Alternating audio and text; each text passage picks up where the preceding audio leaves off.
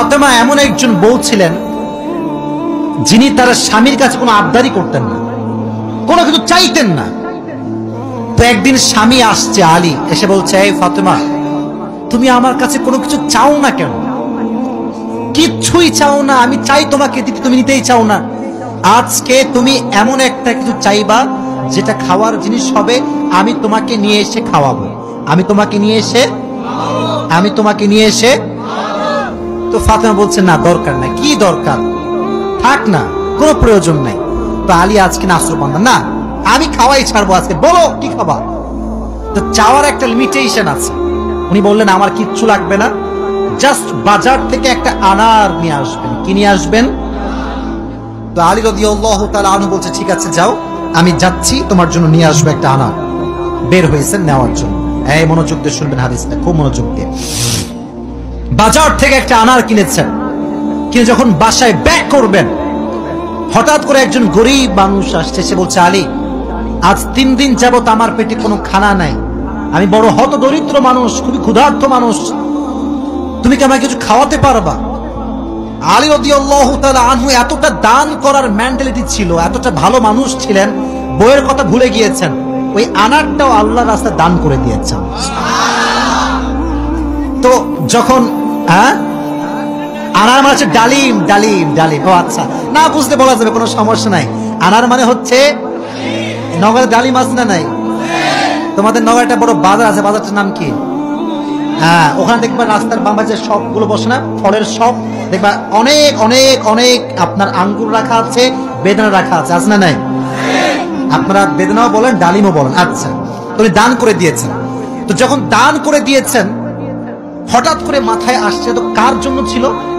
ফাতেমার জন্য। বলেন, কার জন্য ছিল? তো মনটা খারাপ যে জীবনে বউ একবার চাইলো, তাও খাওয়াইতে পারলাম না, মানুষকে দিয়ে দিলাম। বাসায় আসছে, মনটা খুবই খারাপ। তো বউয়ের ভালোবাসা কাকে বলে? খুব ভালো করে বুঝবেন আলী যখন গেটটা খুলেছে, ফাতেমা যখন আলীর চেহারার দিকে তাকাইছে, বলছে, আলী, নিশ্চিত তুমি আমার বেদনা, আমার ডালিম তুমি আল্লাহর রাস্তায় দান করে দিয়েছ সুমান আল্লাহ পড়ে। তো বলছে, ফাতেমা, আসলেই তাই, আমি দান করে দিয়ে আসছি। তো বলছে, আলী, তুমি যদি আমার জিনিসকে আল্লাহর রাস্তায় দান করে খুশি হও, আমি ফাতেমা তাতেই খুশি হয়ে গেলাম। অবাক করা বিষয় দেখেন, হঠাৎ করে একজন মানুষ বাসার গেটে নক করে যায় কেউ কি আছে বাসায়? গেট খুলেছে। তো দেখছে গেটের বাইরে দাঁড়িয়ে আছে একজন সাহাবি, তার নাম হচ্ছে সালমান ফার্সি। তার নাম কি? এদিকে, পেছনে কেমত হয়ে যাক, তোমরা আমার দিকে তাকাও। তার নাম কি? সালমান ফার্সি। বলছে, কি হয়েছে আপনার? হঠাৎ করে আপনি আমাদের বাসায় আসছেন? বলছে, নবীজি তোমার জন্য নয়টি আনার হাদিয়া পাঠিয়েছেন। আপনার সুমাল্লাহ পড়তে পারলেন না? কয়টি আনার? আরও জোরে। তো আলী বলছেন নো, এটা আমার না। এটা আমার হতে পারে না। সালমান ফার্সি বলছে, কেন? তোমার জন্য পাঠিয়েছে। আলী বলছে, ভালো করে চেক করো, এটা আমার জন্য হতে পারে না। বলছে, কেন? বলছে, আল্লাহ তালা কোরআনে বলেছেন যে একটা দিবে, আল্লাহ তারে 10 গুণ বাড়ায় দিবে। তাহলে আমার তো নয়টা হবে না, আমার হবে কয়টা? তো সালমান ফার্সি এই কথা শুনে আবার পকেটে হাত দিয়েছে। হাত দিয়ে আর একটা বের করেছে। বলছে, নবী তোমাকে দশটাই দিয়েছে, আমি জাস্ট পরীক্ষা করছিলাম। সুবহানাল্লাহ পড়েন। তো চাইলেও একটা ভালোবাসা লাগে। আর যে আল্লাহর রাস্তায় দান করে, তার আরও বেশি বাড়ায় দেয় একজন আওয়াজ দিয়ে বলেন, তিনি কে? আর একটা রেওয়ায়াত বলি। একদিন আনহা সুতা বিক্রি করলেন। কি বিক্রি করলেন? সুতার দাম হচ্ছে ছয় দিরহাম। কয় দিরহাম? আচ্ছা। তো বলছে, হে আমার স্বামী আলী, ছয় দিরহাম নিয়ে কয়েকটা রুটি নিয়ে আসো হাসান এবং হোসাইনের জন্য। কার জন্য? হাসান এবং হোসাইন কার সন্তান? ফাতেমা এবং আলীর সন্তান। তো অবাক করে একটা রেওয়ায়াত, আমি জাস্ট গতকালকে এটা পড়লাম, এটা আমি আগে জানতাম না। তো বের হয়েছে বাসার থেকে রুটি কিনবার জন্য। কি কিনবার জন্য? রুটি কিনে ফেলেছে। Just he was coming back to home বাসায় আসছিলেন। করেই গরিব আসছে, অসহায় মানুষ। আলী, কিচ্ছু নাই পেটে খাওয়ার মতো। তুমি কিছু দিতে পারবা? আলীর মনোমাইন্ড এতটা বড় ছিল, যা কিনতে গিয়েছিল ফ্যামিলির জন্য, ওইটাও আল্লাহ রাস্তায় দান করে দিয়েছে। জোরে সোরে পড়ুন সুফান আল্লাহ সন্তানের জন্য খাবার আপনি কিনেছেন, কিন্তু দান করে দিয়েছেন, কিন্তু ভেতরে একটা কষ্ট আছে না নাই? দেখো, এই যুবকেরা প্লিজ প্লিজ লাফালাফি করো না। এদিকে আমার দিকে একদম স্থির হয়ে থাকো। চুপচাপ স্থির থাকো। কারণ নওগাঁর মানুষ তো এরা অভদ্র ঘরের সন্তান, এরা সব ভদ্র ঘরের সন্তান না? চুপচাপ থাকে। তো যখন ফিরে আসবেন, হঠাৎ করে একজন লোক আসছে। এসে বলছে, আলী, তুমি কি উটটা কিনবা? উট? বলেন কি? তো আলী বলছে, না ভাই, টাকা পয়সা নাই, কেনার সম্ভব না। তো বলছে, তোমাকে আমি এটা এখন দিচ্ছি। তোমার যখন বিক্রি করার সুযোগ হবে, তখন বিক্রি করবা, তোমার লাভ তুমি রাখবা আর আমারটা আমাকে দিলেই হবে। তো আলী বলছে, ঠিক আছে, দাও। জাস্ট উটটা নিয়েছে, উট নিয়ে বাসায় ব্যাক করবে, আবার আরেকজন আসছে। বলছে, ভাই, এর দাম কত নিবেন বলেন? বলছে, ভাই, আপনি দাম বলেন। যে উটের দাম হোক দুইশো দিরহাম, ওই লোক আগেই বলছে, আমি এটাকে তোমার কাছ থেকে তিনশো দিরহাম দিয়ে ক্রয় করে নিব। নিয়ে নিয়েছে উট। তাহলে আগে ছিল মাত্র কয় দিরহাম এখন তিনি কয় দিরহামের মালিক হয়ে গেলেন। সুবহানাল্লাহ, পড়তে পারলেন না? এখন এই যে তিনশো দিরহামের মালিক যাকে দিবে, লভ্যাংশ খুঁজে পায় না। কই গেল লোকটা? লোক আর খুঁজে পায় না। না পেয়ে বাসায় আসছে। যখন গেট খুলেছে গেট খুলেই দেখছে নবীজি তার বাসার ভেতরে বসে আছে।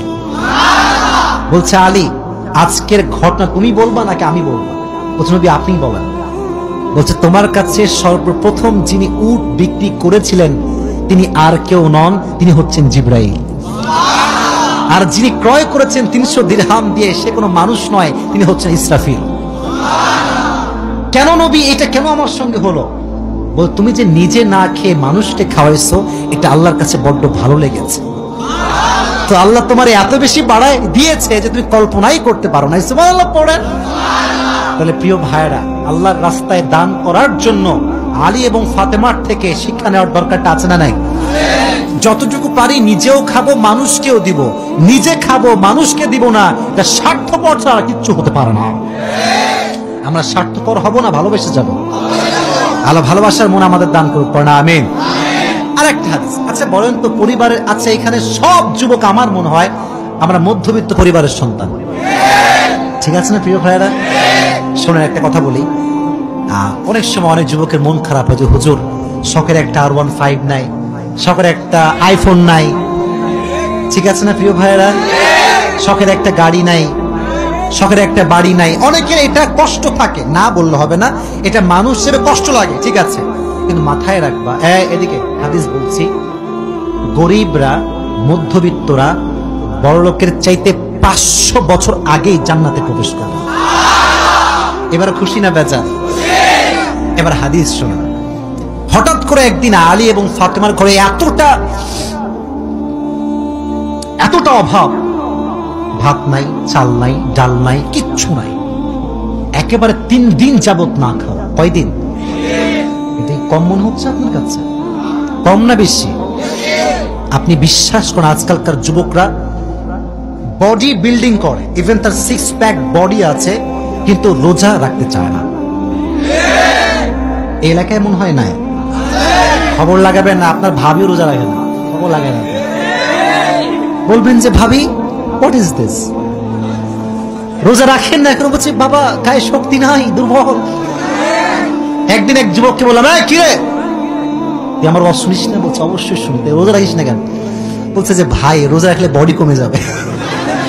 নাউজবিল্লাহ, পড়তে পারলেন না, প্রিয় ভাইরা কয়েকদিন যাবত না খাওয়া। এবার আলী রদি আল্লাহ তালা আনহু বাধ্য হয়ে গিয়েছেন, আর পারছেন না। বলছে, ফাতেমা, যাও। বাবার কাছে যাও। বলো, আব্বা, যান। বাসাতে খাবার মতো কিছু নাই। আপনার কাছে কিছু হবে খাওয়ার মতো? আহা! ফাতেমা যখন ঘরে আসছেন, নবীজি ঘর খুলে দিয়েছেন। দেখেন, বাবা এবং মেয়ের ভালোবাসা কত সুন্দর। ফাতেমা বলেন নাই যে আব্বাজান কিছু লাগবে। যখন গেট খুলেছে, মেয়ের চেহারা দেখেছে, আব্বা বুঝে গিয়েছে মেয়েটা আমার ক্ষুধার্ত হয়ে আমার কাছে এসেছে। ডাক দিয়ে বলছে, ফাতেমা, তোমার অবস্থা কি বলো? কি হয়েছে তোমার? ফাতেমা রাদিয়াল্লাহু তাআলা আনহা ডাক দিয়ে